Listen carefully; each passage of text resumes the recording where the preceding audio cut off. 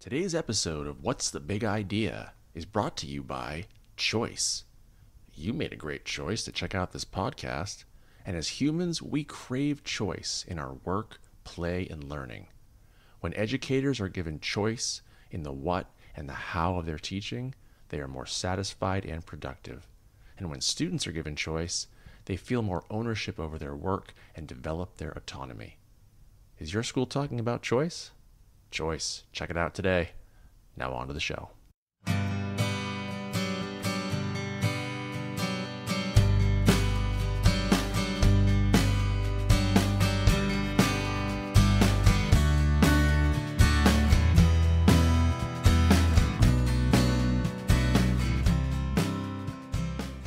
Yeah, it doesn't matter if anything you say in an AP English essay is accurate or true. Uh, in fact, I, I, wrote an essay about this on my blog. Um, I got so bored with the practice essays. Um, I was going to write about uh, a Catcher in the Rye in a separate piece. I couldn't write about Catcher in the Rye anymore. It, on the fly during the AP exam, I invented a novel. gave it a name, gave it characters, gave it a plot. Um, I borrowed from a bunch of books, like I cobbled a bunch of my favorite books together into it. Um, I just did it because I was so bored in the moment to like yeah. keep myself writing. I got a five because, and later I learned, you know, when you see what grading the AP exams takes, it's like minutes. It's like they don't have time to, particularly back then. There's no internet. They couldn't go Google like I've never heard of this book. Right. It, was it, yeah. it, it, had to resemble. It was a Potemkin essay. It was exactly what I talked about it in the book. It resembled yeah. an essay. Therefore, um, that kid can write, therefore he deserves a five. It, it's yeah. it's sad. it's sad. Thanks for checking out What's the Big Idea. I'm your host Dan Carney. The voice you just heard is John Warner, writer, editor, speaker, teacher, and consultant who recently published the excellent Why They Can't Write and The Writer's Practice.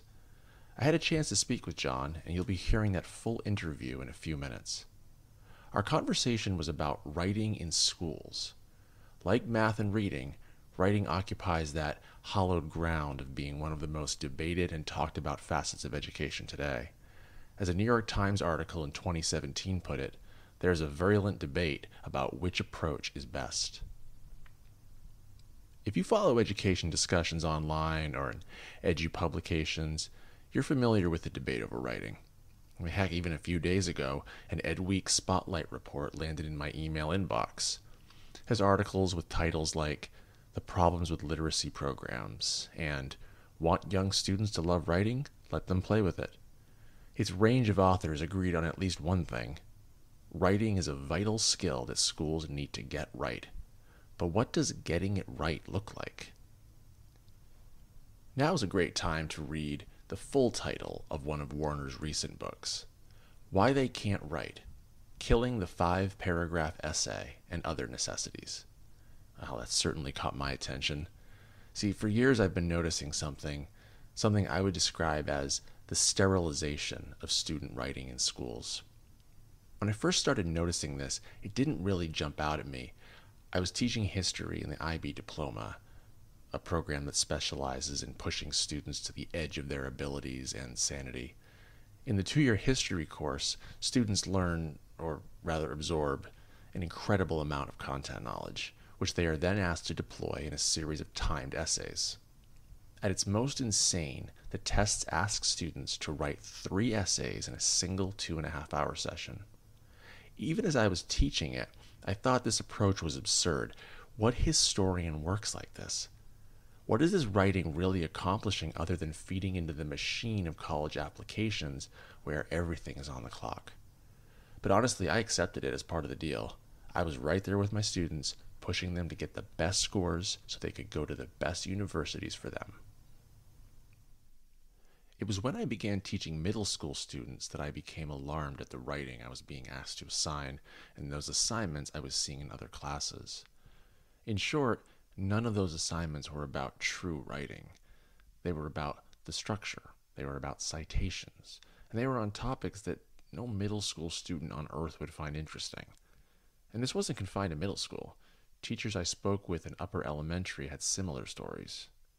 So, excerpts like this from Warner's book really caught my eye.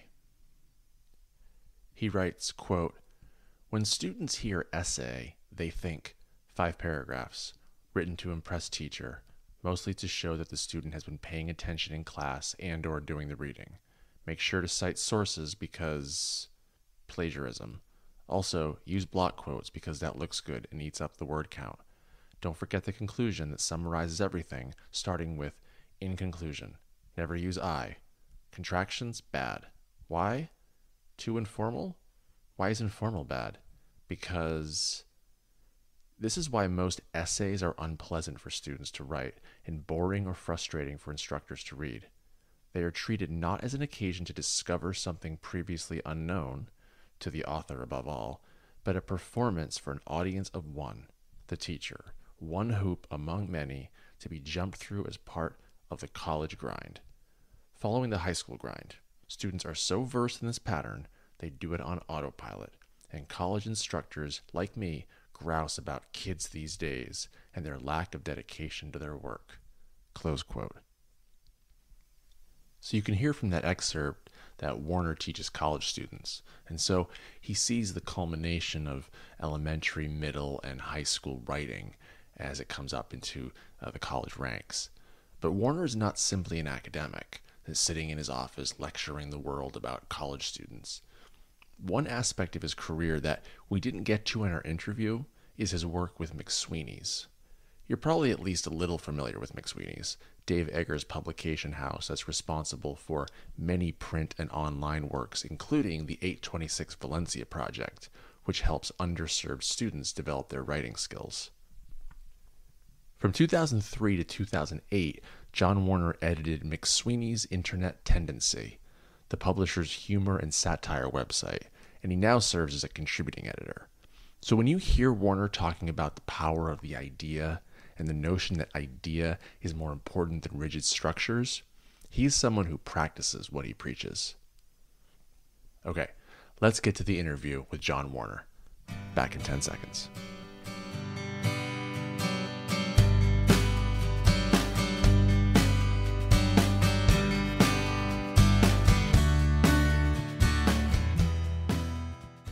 Okay, now I'd like to welcome on the podcast John Warner, writer, editor, speaker, teacher, and a consultant who currently teaches as an affiliate faculty at the College of Charleston, South Carolina. He's the author of several books, most recently, Why They Can't Write Killing the Five Paragraph Essay and Other Necessities. John Warner, welcome to the show. Thanks. It's great to be here. Thanks so much. Um, I wonder if we could start. There's so much in this book I want to get to. I, I really, a lot of it really spoke to me as a middle school teacher, as a parent, and as someone who's just spent a lot of time uh, thinking about writing and writing my own life. But I thought we could start talking about your own educational journey uh, as a student uh, and then moving on into the realm of academia as faculty. What's that been like? What, how's your view of writing itself changed since you were a student? Yeah, it's interesting. So in uh, Why They Can't Write, I have an anecdote about uh, my third grade teacher, Mrs. Goldman, who mm-hmm. uh, gave us an experience that first alerted me to the fact that I was a writer, that we are all writers. Um, she had us make uh, write instructions for making a peanut butter and jelly sandwich. And then she um, required us to try to make the sandwiches following our own instructions to the letter. Um, and we had left all kinds of things out, like the amounts of the ingredients or using a knife to spread it on the bread and, and this kind of stuff. In fact, I have a picture of me doing this of shoving my hand into the jar of peanut butter because I didn't say you could use a knife. And I had a, a you know a literal epiphany where it's like, oh, this stuff matters. The idea is to is to make something that is of use to the person who's receiving it. Mm-hmm we have an audience, we have a purpose, and we have a message. Have, there's the rhetorical situation exists. Um, so that started the journey, and, and kind of through um, middle school, my own middle school experience, and, and uh, I graduated from high school in 1988, so that's sort of the 70s and then into the 80s. Um, I, writing was simply a pleasure. Um, it, it, was a, a um, way to engage with the world and my own thoughts and explore ideas. Um, once I hit high school, it became a little more instrumentalist, like taking AP English. You have to write a an essay that's going to pass muster, and that has to fit into a certain template. And that I didn't particularly love, but I could do just fine because I, I had developed, you know, a sort of flexible writing process. Hmm. College, I was a bit of an indifferent student, um, you know, B student for the most part. Um, but I did really fall pretty hard for fiction writing, creative writing, and ended up majoring that in college. Um, but still had no idea what I wanted to do with my life. Mm. Um, thought I would go to law school. I was an English major uh, and um, worked at a law school for a couple years, or worked at a law firm for a couple years after school, and that's where I started writing short stories at my desk during my spare time, or sometimes not my spare time mm-hmm. at work. Um, so I decided to go back to school um, for an MFA in creative writing, and that's when I started teaching writing, and that sort of started the journey of um, really thinking about writing from not just as a writer, but as somebody who's trying to help other writers write, um, and that's kind of just turned into a, a geez, 25 plus year journey. I guess I started graduate school 25 years ago last fall, so it's it's mm-hmm. been. Wow. Yeah, the the peanut butter and jelly story that you tell, I, I enjoyed that. And there's it, it it's in the vicinity of this chapter in your book called "Making Writing Meaningful by Making Writing Meaningful," and mm-hmm. there's a there's a almost a checklist of nine uh, items that you say sort of drive your work, and you say it's similar to being a chef. And just to give the listener a, few examples, um, I am passionate about my subject. I have an audience potentially interested in reading my writing. Uh, I am likely to learn something via my writing that I did not previously know. And I, I was struck reading this that how much better your basic school writing assignment would be if teachers compared the task to these nine items. And, and, and you talk about in, in the book you make this great uh, statement about Potemkin essays, or you said I think once in an interview that people are assigning writing related simulations as opposed to writing. Um, and how, how, would you compare what what students are receiving in school today against your sort of your nine uh, sort of benchmark? Uh, yeah, a, a, lot of the writing I think students do in school today is for the purposes of of doing school. Mm um, as opposed to, let's say, some something like learning um, or exploration or um, those sorts of values. So often that um, incentivizes a kind of short circuiting of the writing process where we will provide a template like the five paragraph essay or even prescriptions inside the template like um, start your first paragraph with this uh, start your last paragraph with the words in conclusion to signal your conclusion yeah. And the process um, is really to demonstrate a kind of surface level um, engagement with, say, a text where you're parroting certain things back that signal to the, the teacher, hey, I read that and kind of understood it and can, can go through some moves that signal that. But it doesn't have exploration.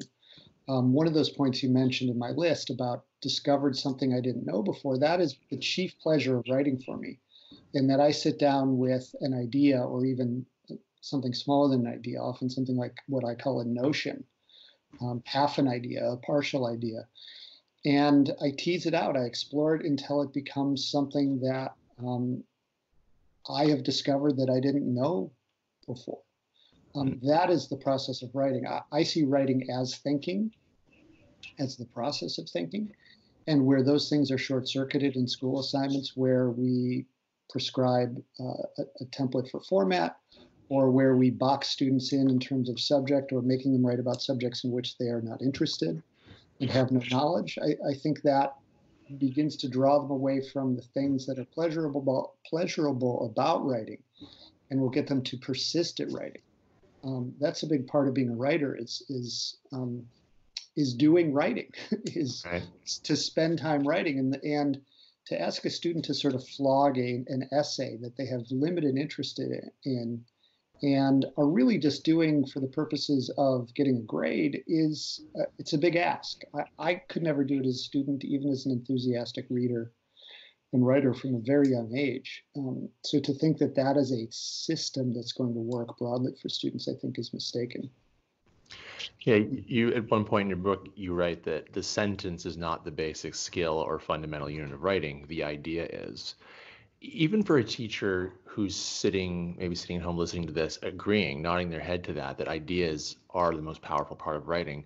How do teachers get there? How do they move away from this rather rigid structure we've developed where the, the format seems to be the the driver of all writing? How do we get past that to the to the idea? Yeah, so that's where um, I frame writing as an experience. In fact, I have a companion book to to Why They Can't Write called The Writer's uh, The Writer's Practice, a book of writing experiences, which sort of puts these things into um, into uh, I don't use the word assignment, but they're assignments, uh, assignments as experiences. And what I try to think through as I as I built and continue to build these things, because I, I haven't stopped creating writing experiences, is what are the things that I want students to um, do along the way that will help them learn and those are rooted in what I call the writer's practice the skills, attitudes, knowledge, and habits of mind of writers. Mm. And so the goal is to have an experience that touches on the writer's practice, that invokes the writer's practice. And so doing those things is what's important. The, the product is important only as it's a thing that allows the doing. And so a lot of that for, for teachers, I think, means letting go of notions of I have to train students to write a good essay about a book. Mm-hmm. Um, it's more, I need to get students thinking about um, this text that we read, be it a, a book or, or, something shorter, um, and then expressing ideas that they have created in the context of this book.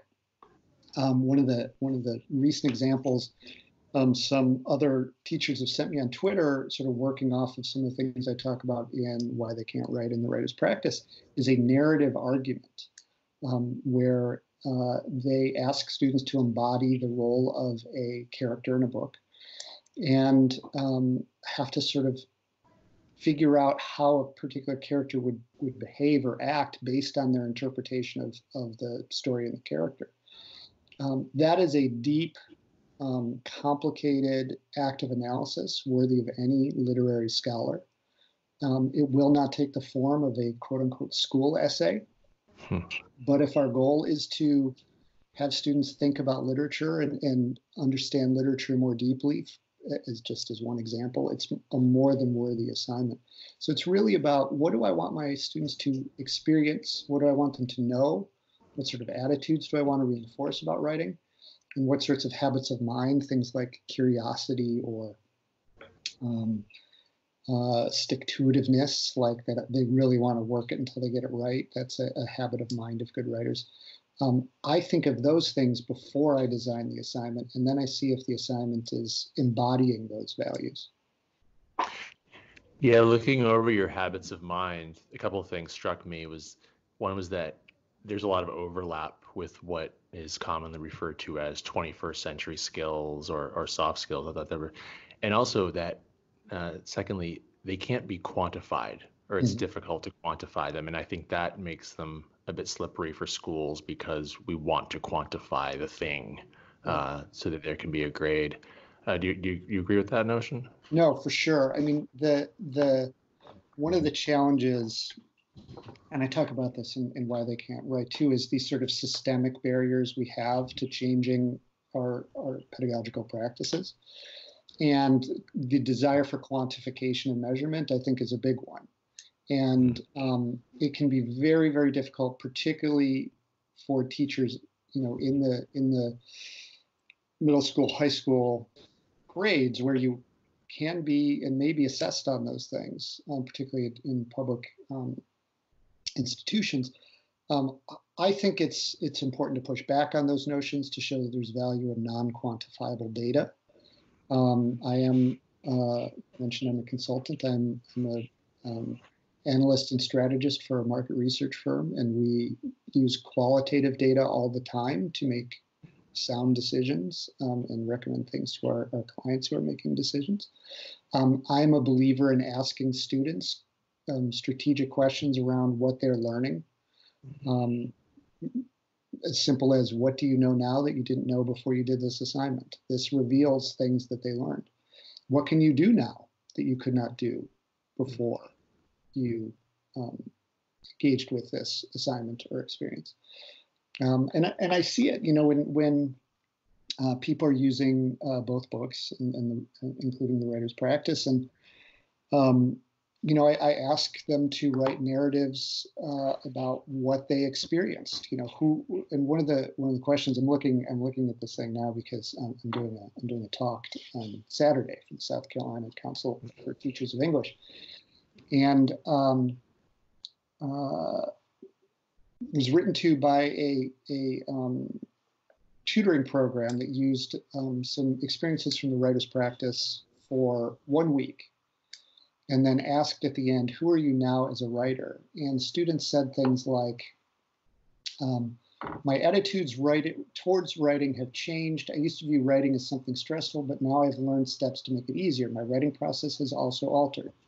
I used to just start writing, but now I have learned that pre writing plays a crucial role. Mm-hmm. That's a student who, in a week's time, has learned about the writing process. Um, that is not quantifiable, perhaps, but it's data and it's real. Um, and I think we can. It's tougher to quantify, but I do think we can we can um, we can measure them in different ways. We can bring them to life. We we can make them apparent in the world. Right. You mentioned teachers. You you go you consult and you speak to teachers. Uh, I want to read you a line from a 2017 article in the New York Times. Dana Goldstein was writing about uh, sort of the debate over writing in America. And she wrote The root of the problem, educators agree, is that teachers have learned how to teach writing and are often weak or unconfident writers themselves. Uh, does that sound, does that ring true with your experience that um, teachers are not prepared to teach writing? I, I think it can be true. Hmm. Um, I don't think the notion that this is the chief problem, I think, is false. Um, and to the extent that um, teachers may feel um, that they lack confidence as writers, um, I think that is more around what we have decided matters around writing in school. Um, I, I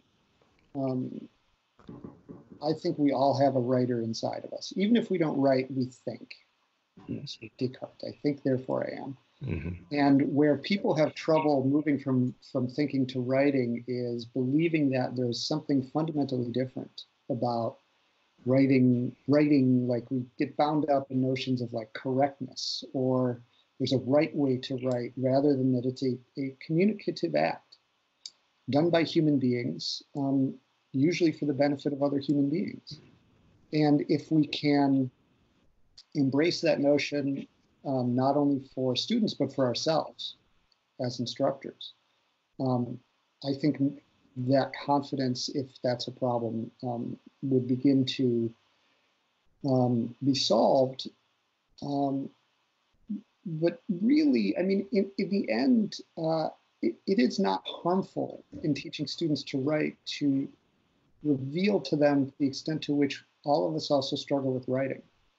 One of my favorite things to do with my students, and these are, are college freshmen, are to bring in first drafts of um, like blog posts I wrote for Inside Higher mm-hmm. Education.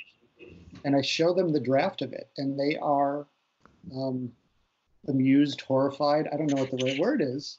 Um, as I show them all my mistakes, my typos, my bad phrasing, my nonsensical sentences, the half-baked ideas, um, and it, it's deeply reassuring to them to know that all of us experience this as we write. The difference between me and perhaps uh, my students who are less experienced are I have many, many more hours taking that raw material and shaping it into something for an audience.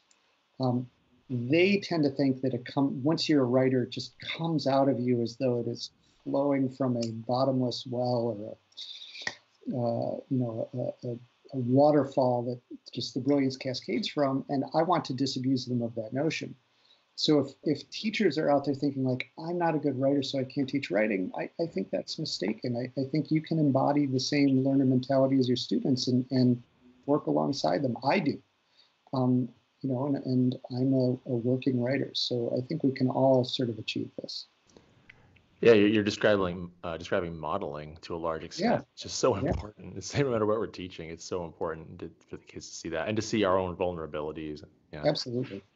Uh, I was really happy in the book when you to see that you talked about portfolios. Um, I, I, had a conversation last year with a high school in Durango, Colorado, called Animas That his one of the centerpieces of the school was a digital portfolio. The students keep the whole their whole school tenure. Um, why are portfolios important? Why are they perhaps a better way of measuring a writer uh, than this than the standard traditional tasks with grades that we get? Yeah. The the a portfolio, a, a, record of writing, right? Like mm-hmm. here here are the artifacts that I created during a certain period of time. Is great for a lot of reasons. One is it's a tool for reflection in the immediate sense. Students can look over what they did in a semester you can ask them, as I ask them, who are you now as a writer? At the beginning of the semester, I say, who are you as a writer? They often don't have a good answer. They don't per- perceive themselves to be writers. Um, even the, the ones who got A's in writing tend to not express a lot of confidence as writers, like they're good at school, but they don't think a lot about writing. Um, so it, it, has that um, benefit. Um, they can be a source for, I, I, keep copies of all of my students' writing, you know, that because you can download it from the LMS. And so I can go back and look at these things over time and see, you know, it, when I did the experience this way, what happened? When I do the experience this way, what happened? And even more for students, I think is over time. Like if you can look back on what you produced in middle school when you were in high school, or from college looking at what you did in high school, or, or for me, one of the things I read about in the book is my um, master's thesis that at the time I was really confident was like, like yeah. send these stories to the New Yorker and let's wait for my literary fame to come in. Uh, you know, even five years later, I was like, oh, oh, that's why I wasn't getting anything published. And 20 years later, um, I can look, you know, five years after I looked back with sort of shame. Uh, 20 years later, I look back with a certain fondness for who that person was. Mm at the time, the concerns I had as a person, the things I wrote about, how I wrote about them, and to be able to see, particularly because writing is a struggle, I still do struggle with writing, um, particularly to see that I know that I've gotten better as a writer of, of to isolate this one thing, fiction, in the last 25 years. And I can pinpoint the specific ways by looking at the things I did 20 or 25 years ago. Yeah it, it, it allows us to embody a notion that we as writers are, are living beings and writing is one of the things we do and, and we should um, not treat these things as disposable once a grade is put on them and mm. we say, ooh, there's my b done with that forever um, these things can and should live beyond the grade yeah that's a good transition to talk a bit about feedback. Uh, you have this great description in the book that every teacher would agree with the you you spend the time giving the feedback and they just they flip to the last page look at the grade and it's almost like that's it. That that yeah. is now closed. What advice can you give teachers about constructive feedback that students can use to uh, make progress in their writing? Yeah so a lot of this for me evolved when i changed just my approach to the assignments to the experiences when i started to privilege the journey the experience um, my feedback became much more formative, much less evaluation, much less trying to justify the grade. That then led me to um, simply embrace a full kind of ungraded um, approach where I don't put any letter grade on the writing ever during the course of the semester. Hmm. Um, I, I, use a grading contract. It, it varies by course. Um, in some courses, though, like in, when I teach fiction writing, one of the most important parts of the grading con- contract is simply the number of words they wrote that semester. Um, because if, if they're going to improve as fiction writers, you just got to get in there and just write, write, write, write, write. If in an introductory fiction writing class, we're probably not going to write something publishable, but that's not our goal. Our goal is to roll around in the in the uh, problem of trying to write a satisfactory uh, story. So, if you can I'm ungraded, and I'm I'm I'm happy to be an evangelist for it on why you should not put letter grades on on writing and how it creates much better incentives around what you do. Um, that said, I'm also a, a, strong believer in instructor autonomy that that instructors have to sort of do what what works for them. What I will say and how I got there is, at the very least, make sure that what you're grading resonates with your values, what you think is important in a piece of writing um, for something like um, parenthetical citation of sources in a, in a research paper and the, the proper formatting. Over time, I realized like, I just don't care. I don't care. I don't care. Um, I don't, it's not important to me. And I don't think it's important to the, often to the rhetorical power of the writing. And so I stopped caring. They could use MLA, they could use APA, they could use Chicago style, they could use APA. I don't care. Um, I need consistency. Um, I need the principles of, of um, effective citation and that your reader needs to be able to go find your source and see that it's true and accurate. But as long as they're thinking through the problem of citation and using that, I don't care what's in or out the parentheses or where the comma or the periods are. It's just not important to me. That's my advice is sort of if it doesn't feel important to you, don't grade it. Don't assess it.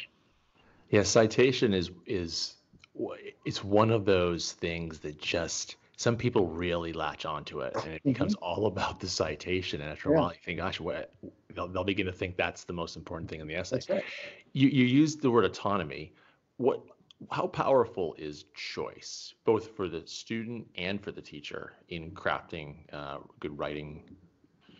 It's for me, it's like the whole thing. Mm-hmm. Um, when students are allowed to explore topics of their own interest, or even better, their own interest and expertise, they will write better. Um, a lot of that is because they will spend more time, they'll care more, and they'll be more passionate about it. Um, and with instructors, um, you know, a big part, you, read the book, a, a, big part of my concern about the book are these systemic pressures on teachers that remove them from these um, direct human relationships with their students. Um, we should not be treating all our students as though they are an interchangeable mass. And so, for me, instructors at all levels need that freedom to engage with students at that level. Um, and that's where choice comes in. Um, not every class is the same. Um, you know, uh, I'm sure you've experienced this as well. Uh, I've had semesters where I taught the exact same class back to back to back to back. It's the same, it's the freshman students, it's the same course. I've got the same plan and could not have had more different experiences, you know, half an hour apart. And, and if I'm bound up to um, restrictions around content or um, assessment, I am doing the students that are not responding to this as well a disservice. If I don't have that freedom of choice, then um, the experience for all of us is is degraded. Yeah, that's that's that's like every day in middle school. of course, the, it's the, the the the period to period changes, and and the students, you know, they're so influenced by not just what they read, but the the class discussions, mm-hmm. and so class discussions though those vary so much class to class and sometimes you go off on tangents in one class that you never even approach in another and then the writing is different and yeah and you never know which kid's gonna like one kid one the same kid on a tuesday can show up on a wednesday and be a different kid. Like they have, they they are they're in a mood, or they experience something that has changed their mind, or who who knows? And to sort of not allow for that to happen, I think. I mean, that's the fun part of teaching is to see students light up and transform. So to um, take things off the table that would help us do that, I just think I, I don't understand it. I, I, don't know how we started going down this road in, in education. I wish we would turn back. I hope we turn back, but um, uh, if we don't, you know, I think we're really doing students a disservice. Was was there a moment when you realized you were going to write this book or these books with the writer's practice? You know, you've been working with college students for a while now. Was, was there sort of a, a, crystallizing moment when you, you there, you were, Yeah, there was not maybe one moment, but there were maybe two or three. Um, one was one was I became increasingly concerned about the apparent amount of anxiety and, and students felt around school, um, anxiety and um, I think depression coupled with that. I I had a, a, a, moment in class where in, in my office after class, uh, where I said to a student, a, a, a, freshman in college, a young woman, and I said, I clapped my hands and I said, only two weeks left of school, like excited, like, hey, we're almost done. And she burst into tears. Mm. And um, she she she felt bad and I felt bad. I'm like, you know, I didn't mean to do that. What's going on? She's like, I just feel so much like when you, I feel so much pressure at school. And when you said said that, I just realized like, there's no way I'm going to get everything done. And and that was probably that was probably nine or ten years ago now that I that I think about that incident.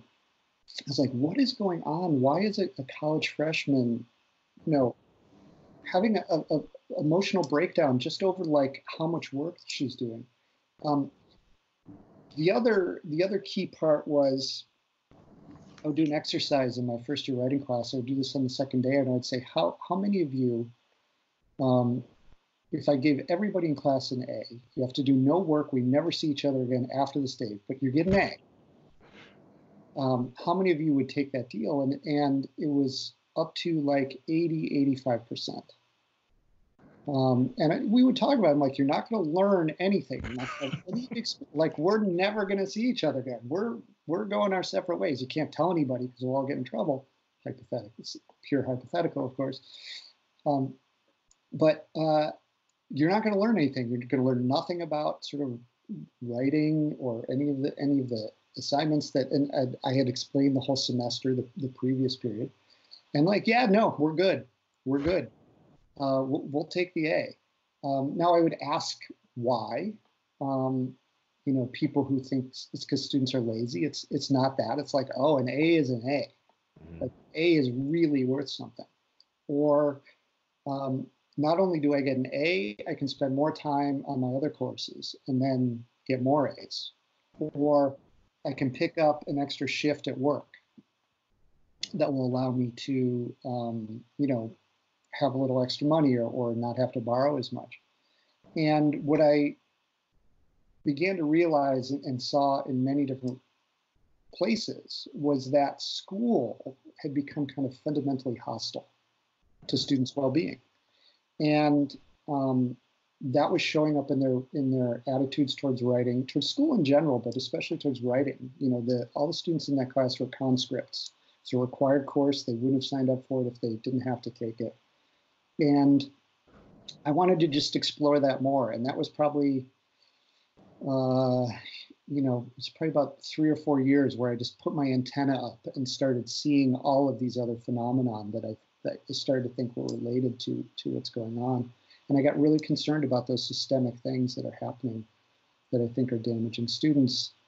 And while I recognize that a book by itself is not going to undo systemic problems, although I, I try to offer some some at least directional change.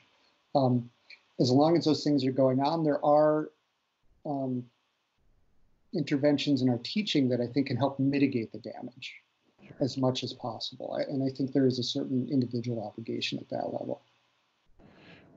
I just want to end on this question here. What what uh, what single piece of advice would you give uh, a teacher who's taking on writing in his or her classroom that w- that would stem the tide of that.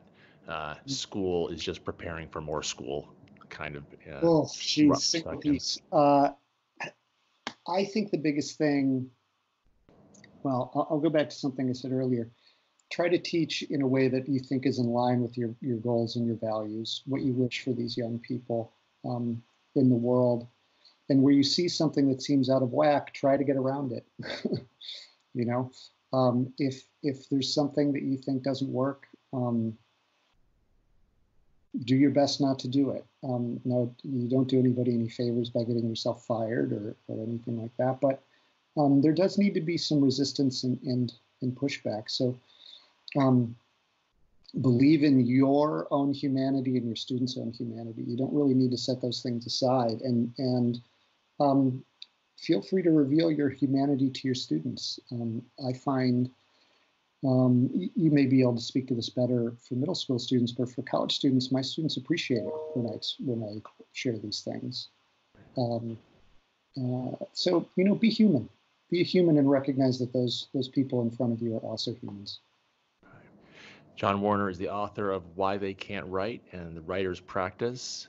Whether you're middle school teacher, uh, elementary school teacher, high school, college, highly recommend uh, these books. John, thanks so much for joining me. Uh, that was my really pleasure. Great. Really enjoyed it. Thank you. Thanks. A huge thanks to John Warner for taking the time to talk. What I really appreciate about Warner's thinking and his books is that it's all contextualized in the broader question of education's direction. He explores a number of themes that I find quite compelling. For example, student choice, resisting quantification, quality feedback, and the importance of teacher modeling. His focus remains on writing as a thinking process, not as a means of creating a product. And I just want to finish with one more thought about choice. In contrast to how it's often portrayed by some traditionalists, student choice does not mean students are dictating the curriculum any more than it means they are circling around the room deciding if they want to even learn that day. Rather, choice is a powerful tool at a teacher's disposal that, when used correctly, gives students a level of buy in they might not ordinarily have. Writing provides many opportunities for choice. Considering text type, audience, and purpose are just a few ways we teachers can empower students through choice in their writing. In the meantime, teachers, I highly recommend you check out John Warner's work. The books are Why They Can't Write and The Writer's Practice. And I promise both of them will have you thinking about your own teaching and how you're using writing in the classroom and education in general. John Warner also uh, has a blog on Inside Higher Ed. And as I mentioned, he edits McSweeney's Internet Tendency. And as a site, if you haven't seen it, definitely worth checking out. Some very funny things, some very offbeat, most definitely unstructured, uh, idea driven humor over there at that website. Thanks for checking out What's the Big Idea. Our music today was from Molo. Que Extraño Es is the song. Check us out next time on What's the Big Idea.